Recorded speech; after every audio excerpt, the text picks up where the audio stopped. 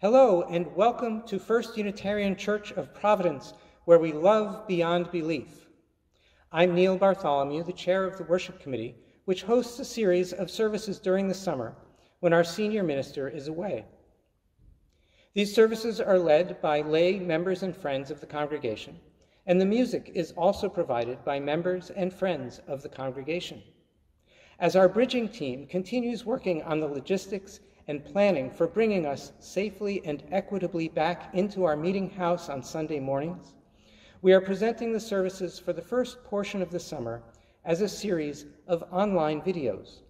We hope that you will enjoy the variety of wisdom and talent that our congregation has to offer.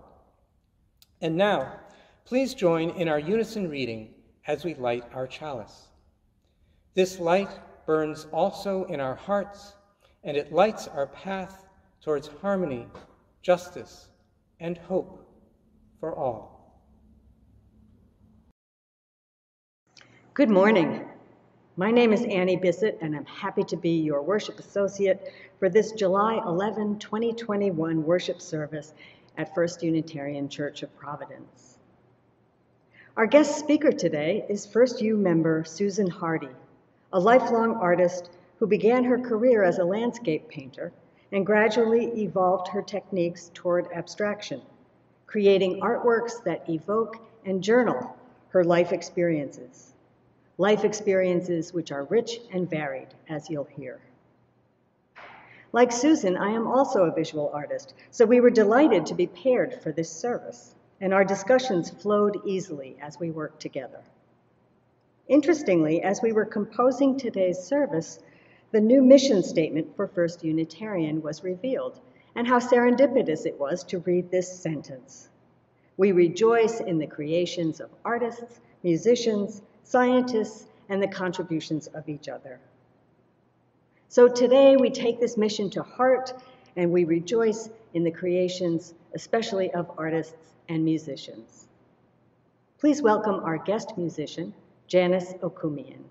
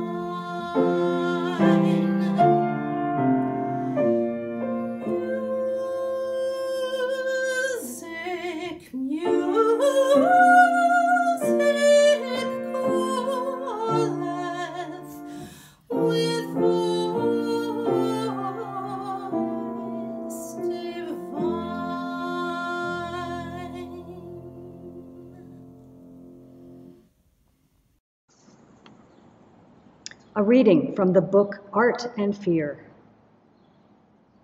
Making art is difficult. We leave drawings unfinished and stories unwritten. We do work that does not feel like our own. We repeat ourselves. We stop before we've mastered our materials, or we continue on long after their potential is exhausted. Often, the work we have not done seems more real in our minds than the pieces we have completed. And so questions arise.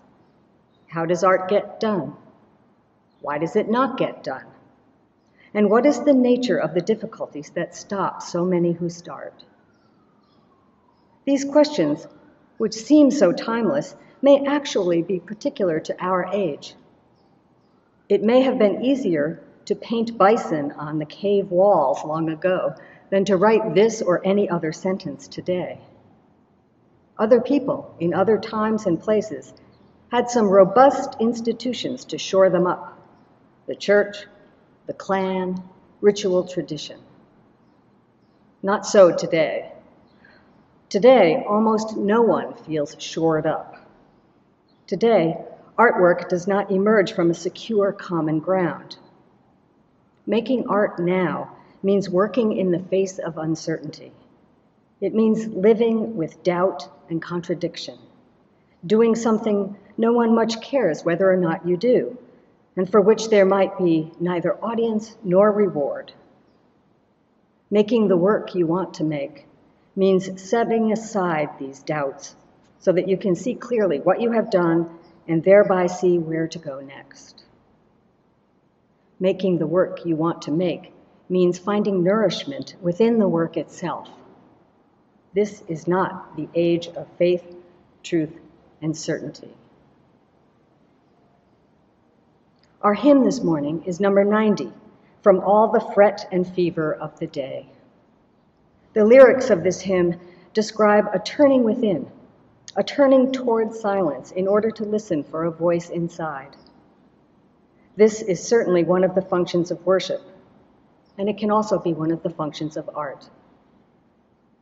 Let's sing hymn number 90 together, and then we will hear from Susan Hardy.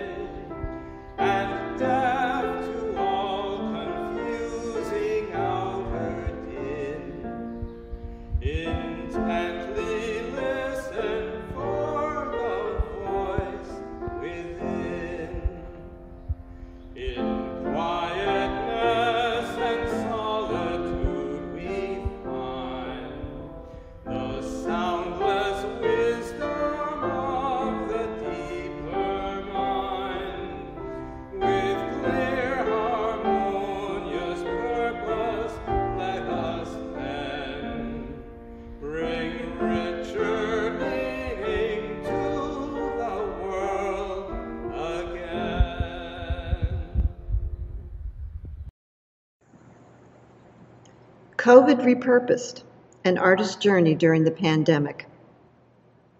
Containment, keeping something harmful under control or within limits. Isolation, cut off, alone. These two words laid the ground rules and gave meaning to the artwork I produced during 2020. I have been doing art as a career since I graduated from the Maryland Institute College of Art in 1974. I had no expectations. I just wanted to paint and draw with specific interest in abstracting what I saw in the natural world. Seems very long ago. During the first month of the onslaught of the pandemic, it felt like a pleasant hibernation. I thought maybe a month of wait and see, and then life would be back to normal but life came to a halt, and a state of confinement, peppered with lack of stimulation, low-grade anxiety and general malaise greeted me daily. I found I could tame this excess of emotion by exercising vigorously and reading copiously like never before.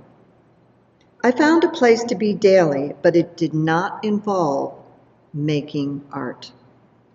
My way of control when I feel under siege is keeping things tight and organized, and you will notice in the series of collages I will share with you exactly that. A box in the middle with information and a border that holds that information tight cradled in a contained space and keeping those moments of awareness about multiple experiences well guarded. By doing this, I calm myself and hold a parcel of a big life in an emotionally small space. I would rather leave a shard of ambiguity and something to ponder rather than a large monumental slab that says, Here I am. After the long summer of 2020 and my looking for a joyful experience, a certain settling in phase of adapting happened, and with it, an idea formed for an art project for my upcoming show at the Providence Art Club.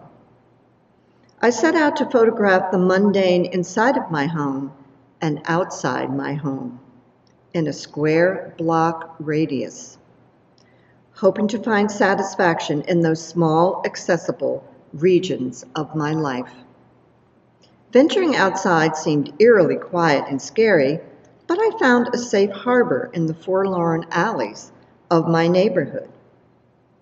The air conditioners jutting out basement windows drew my interest, and I pondered their inclusion a thousand years from now, protruding out of a landfill like amphora buried in Pompeii, and someone would dig up the metal box, carry it home, and display it as an ancient treasure of art.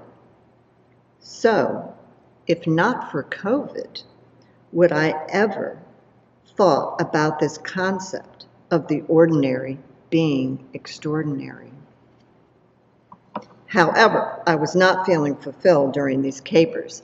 I was exhausted I nixed the photo idea in December and pawed my way back into my voluminous flat files with reckless intent, scooping out old prints and drawings and paintings on board and flinging them onto the floor. I was determined to make art out of whatever was at hand. Demolishing these pieces seemed so fitting. They needed catharsis. I chose a series of paintings to repurpose. I did, right after 9 11, another tumultuous time, and they became the object of my demolition. Like COVID, 9 11 blurred my ability to make sense of anything. I tore and cut and used a sander to scrape away layers of paint. Surprisingly, out of the chaos I was creating, I found meaning and semblance. Out of COVID came the ability for me to cull moments and fragments and make art out of the condition of isolation. I came alive again after months of retreating. I would be remiss if I did not give a bit of background and say a little about the sources for my continual supply of abstract images. Here is a tiny bit. The Chesapeake summers of my youth provided me with horizon lines of sea and sky. My father's voluminous library, and especially Life magazine, whose photographs introduced me to new societies oceans away, to ancient cave paintings in France, and then bewildering issues of disparity at home. It was only natural that at this stage of my life I became attracted to a world that had the quality of being different. What fascinated me were the headhunters in the Amazon, the Aztec and Olmec of Mexico, and the tidy life of the Maasai in Kenya. In the middle of art school in 1971, the National Gallery of Art in Washington, D.C., where I grew up, hosted a huge exhibit under the direction of Rhode Island's very own J. Carter Brown. It brought to life the continent of Africa in an exhibit called African Art in Motion. It was big and bold and shattered all my preconceived notions of sublime line and shape and my rigidly organized thought patterns of making art. It stirred my senses and changed the way I painted and drew. Spin ahead 20 years, and I find myself living in West Africa for 10 years. The desert of Mauritania, the civil war in Liberia, and lastly, Nigeria. A country so full of life, it has been called a cross between Harlem and Calcutta. I was constantly being jostled by the energy. Nothing was ever clear cut. The smell of wood, fire, and fish, thorny landscapes full of joyful but sometimes terrifying experiences, and then also vibrant, joyful, and celebratory art and theater of dazzling color and intellect. Everything about Africa spoke to me in terms of how I made art. I felt I had landed. In those summers of living in Africa, we escaped to our island in Canada, which is accessible only by a little powerboat. It is a scruffy, windswept rock with jagged edges, and everywhere you look is a tumbling sea replete with horizon line and other islands. Nothing is ever static, with plenty of time to ponder the here and now in a little red rowboat. The advantages I have had are rough hewn by and large, and it is reflected in my work. So, as I meandered through this process of repurposing old art into new art, it was the isolation of containment of 2020 that became a powerful force that led the charge. Combine that with the experiences of a childhood on the Chesapeake Bay, time in desertic and tropical Africa, and respites on a secluded island in Atlantic Canada, and this merging and melding grew and blossomed into this series. Thank you.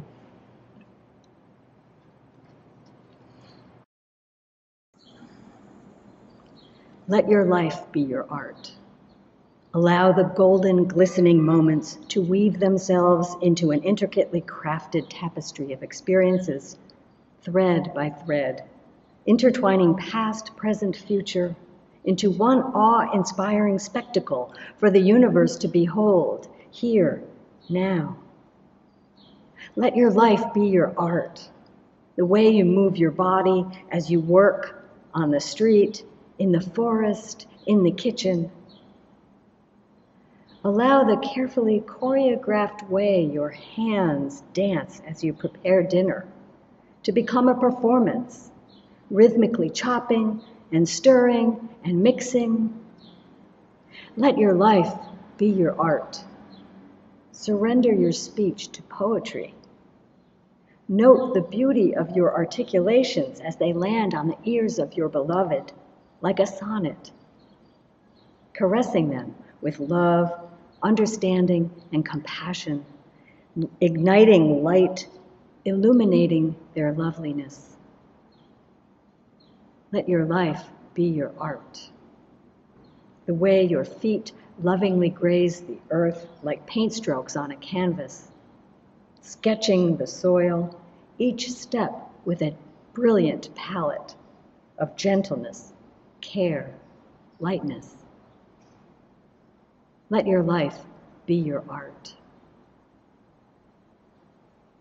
Let's now spend a few moments of silence together.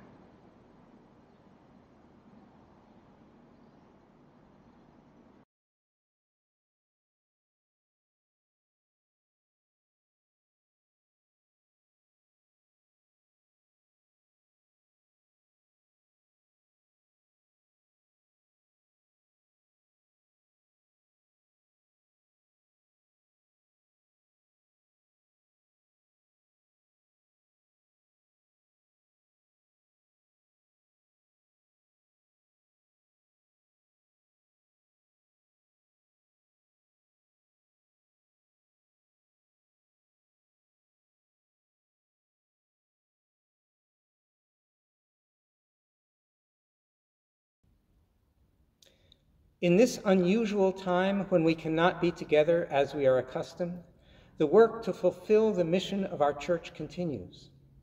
Our staff work harder than ever to support our connections as a community, and our efforts to create justice in the wider community continue. The need for us to fund these efforts is even more important than ever. Please go to firstunitarianprov.org and click on the Give menu. You may do so during the following offertory music, or you may prefer to wait until after the end of the service. As always, thank you for all that you give, all that you do, and all that you are.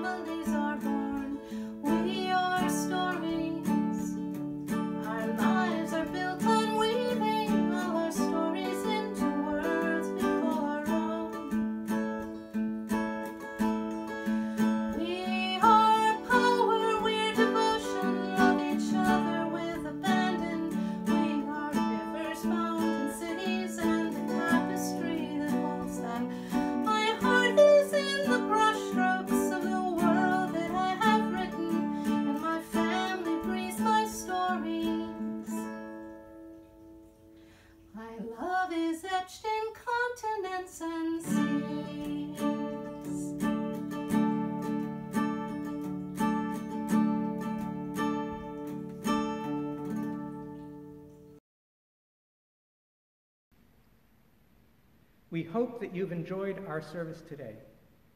As a self-supporting congregation and a beloved aspiring community, we rely on generosity and commitment to keep us vital and relevant.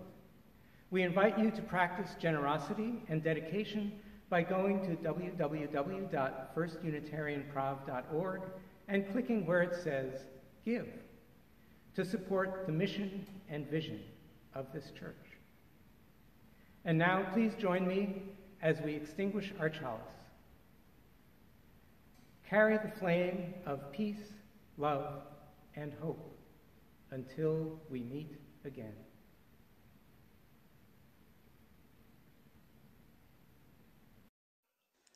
May